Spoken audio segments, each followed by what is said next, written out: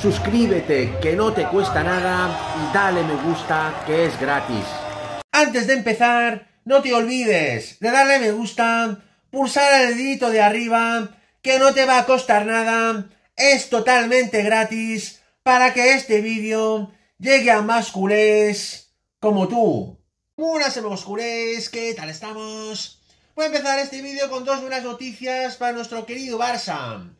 Primero, la renovación del lateral canterano Héctor Ford hasta el 2029 con una cláusula anti-jeques de 500 millones de euros. El chaval la está rompiendo en los últimos partidos y asegurarlo durante los próximos años, sin lugar a dudas, es una brutal noticia. Y la segunda es que el Barça está a punto de cerrar su primera venta.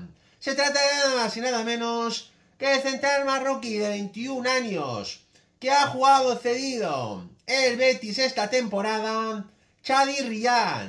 El Barça está a punto de cerrar su traspaso al Crystal Palace inglés una cifra que ronda los 20 millones de euros. Sin lugar a dudas, es una pedazo de noticia referente a las arcas del club. Seguimos con la actualidad de nuestro Barcelona. Vamos a escuchar lo que han dicho ayer el programa del Salseo Nacional sobre la última hora de Xavi del Barça. Atentos a lo que han dicho algunas personas sobre el futuro de Xavi. Cuentan que el entorno de Legarense les filtra información. Vamos a por ello. Xavi no lo sabe, Josep. No reunión. Xavi, ¿No sabe qué? Xavi no sabe que está fuera. No lo sabe a través de la directiva. Vale, vale, pero es de quien lo tiene que saber, Jota. Sí, sí. O sea, Xavi, eh, la rueda de prensa de ayer... que Xavi está fuera? 100%. mm, bueno, J, J, a ver, J. 100%. Vamos a J. Te digo Ahora, bajito. J, repito, bueno, te hago la pregunta otra vez. Eh, eh, ¿Das por hecho, J, que Xavi está fuera? 100%. Si no sucede algo extraordinario, lo dije el otro día. El otro día me preguntó Edu, creo, y dije que había un 1%. Creo que el 1% es de más, mucho. Creo que menos de un 1%. Tiene que pasar algo muy extraordinario durante esta semana para que Xavi continúe. O sea, la decisión está tomada. Eh, la porta lo tiene muy claro.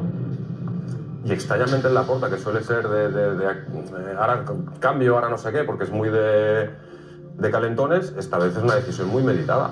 Luis. Más que de calentarme es una persona emocional. Y el otro, el otro día quedó herido. No quedó herido porque Xavi hiciera una declaración de realismo.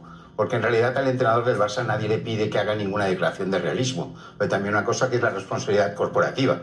Por lo tanto, el realismo lo tiene que trasladar el presidente, no el entrenador.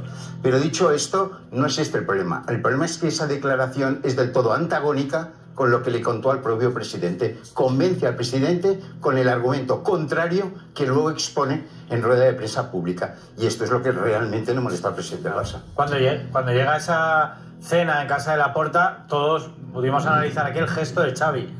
Hundido, Xavi estaba Antes de entrar en fuera. la puerta. O sea, Xavi estaba fuera, desencajado. No, fuera, que, sí, sí. que no podía abrir, no sé si acordáis, no podía abrir la puerta, no encontraba cómo. Y, y en dos minutos, Xavi dice, le, le expresa la puerta lo que ha dicho Luis, que es capaz de sacar esto adelante con gente joven, que es un que es un proyecto que ha iniciado él, que quiere continuar, que venga quien venga lo va a sacar adelante. Que hay equipo, Que hay equipo. que serán competitivos, Claro, que pueden luchar al máximo nivel. Claro, al cabo de 10 días expone de una forma, diría que incluso un poco triste, una realidad totalmente diferente. Durante esos 10 días pasaron muchas cosas, hay- hubieron muchísimas reuniones planificando la temporada del año que viene, Xavi seguía pidiendo jugadores y desde parte de la directiva, pues especialmente de Deco, pues se le frenaba como diciendo, espérate que a lo mejor esto no va a ser posible, yo quiero este jugador, Deco decía, pues a lo mejor este no, te voy a traer a este, y esto ya pasó el año pasado, Estamos, y ahí el a ver, las situaciones. Eh, Xavi que dimite, luego Xavi que dice que se siente querido y se queda. Eh, luego que, que pasa lo del Girona, hace daño, ¿no? La derrota Sí, del mucho, Girona hace daño. mucho daño, encajar 8 goles Hay una, ahí es contra el donde Girona. empiezan duele. las dudas de la porta en Girona. Y hay una fractura mucho más grande donde la que había entre Deco y Xavi. Mucho más grande de la que había. Girona con la victoria del Girona sobre el Barça, ahí empieza Sí, las dudas. dudas de nuevo. Deportiva sí. Sí. Sí, sí. Deportivas y- No, no, me, me refiero a que, que al final eh, eh, ya confiaba ciegas la puerta en Xavi. ¿Eso fue cuántos días después de, de ratificarlo? Como La misma semana. Fue la- el fin de semana después de ratificarlo. primer fin de semana, el primer partido. En casa de la porta, confirmas a Xavi que sigue Xavi, que tal. Martes y fue un domingo, un sábado, sí. Y después de Girona, Sí. eh, Pero al final vosotros tenéis que saber que eso es la duda fundamental sobre el carácter competitivo que el entrenador, en este caso Xavi Hernández, es capaz de imprimir, imprimir al, equipo. Que no hay jugadores de nivel para el próximo eh, año, porque en el mercado del Barça se mueve hasta donde se puede mover, ya lo sabemos todos, ya lo sabemos todos. Al final yo, digamos, tengo clarísimo que la Porta, la Junta Directiva del Barça, está midiendo el carácter, el carácter de, de, de, de Xavi desde el punto de vista de cómo le puede dar al equipo la competitividad que ahora no tiene, jugando con lo que, con lo que puede Pero el jugar. tema, el tema es que hay que transmitir. No le creen a Xavi. Ese es el Ese es el tema. Claro, lo que decía Luis lo ha acabado. Yo creo que el entrenador no puede, eh, la porta, vender ilusión y Xavi diciendo que el Madrid está ahí, la Champions, como ve la gente del campo. Si Xavi, el entrenador, te está vendiendo que no hay Es nada. un que- síntoma, eso es un síntoma evidente ¿eh? de esto. Hay una guerra abierta. es Esa hay una guerra El abierta. tema, el tema es Esa rueda de prensa es una equivocación. A ver, pero ahora nos explicáis si esa rueda de prensa se equivoca Xavi con lo que dice o no se equivoca. Cuando sale Xavi el otro día en rueda de prensa y es, digamos, tan realista o tan negativo o tan pesimista, realista o pesimista, no sé cómo llamarlo, ¿el Xavi sabe lo que va a provocar eso? Sí, claro. EJ sabe lo que va a provocar. Estoy segurísimo. ¿Está buscando el enfado de la porta? Yo creo que Xavi en ese momento por primera vez piensa más en él que en el club. Está pensando en, en- en- quiero una mejor plantilla. Que. Xavi, Xavi cuando dimite dice que es por el bien del Barça. Vale. Y mi pregunta es, si Xavi sale del Barça ahora, ¿se irá gratis? No. No, pero irá. Bueno, se confirma lo que yo informé ayer en este humilde canal, que Xavi sin su finiquito no se va. Quiere sus billetitos, 20 millones de euros para irse. Y está en su derecho. Es lo que ha afirmado y no se puede decir nada al respecto. Por cierto, pronta recuperación para nuestro Presi, que está el pobre un poco pachucho.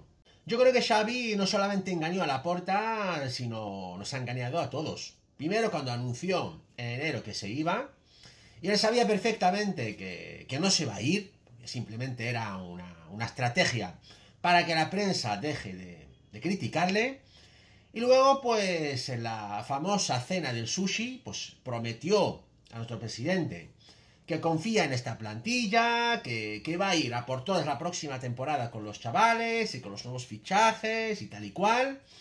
Y en la rueda de prensa, pues, para protegerse y tener una excusa más referente a la próxima temporada, por si le pintan la cara, pues insinúa que la plantilla del Barça es la peor plantilla de Europa, cual es una mentira. Y ahí nuestro Presi, lógicamente, se sintió traicionado por el Garense, pilló un cabrero monumental que todavía a día de hoy lo tiene y ha tomado la decisión, pues, de de mandarlo a la calle, que en mi opinión es un poco tarde porque tenía que haberlo echado en enero, cuando convocó esa famosa rueda de prensa fingiendo que se iba a final de temporada. Y ahora se vamos con el temazo principal, bombazo de última hora, acuerdo cerrado del Barça para las próximas dos temporadas con un genio de entrenador. Una fuente deportiva muy importante y cercana al club asegura que el Barça acaba de cerrar un acuerdo para las dos próximas campañas con un brutal entrenador. Es el único que ha podido ganar el sextete junto con Pep Guardiola en una sola temporada. Y se trata de nada más y nada menos que del genio alemán Hansi Flick. La misma fuente afirma que el Barça anunciará el fichaje de Hansi Flick la próxima semana cuando se haga oficial el cese de Xavi como entrenador del Barcelona. Esta ha sido mi grandísima noticia de hoy, amigos culés. No os olvidéis suscribirse a mi canal, que no os cuesta nada.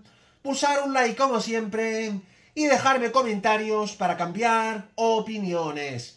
Muchas gracias. Forza Barça por siempre, vamos a por todas. Y nos vemos muy pronto en mi próximo vídeo. ¡Vamos!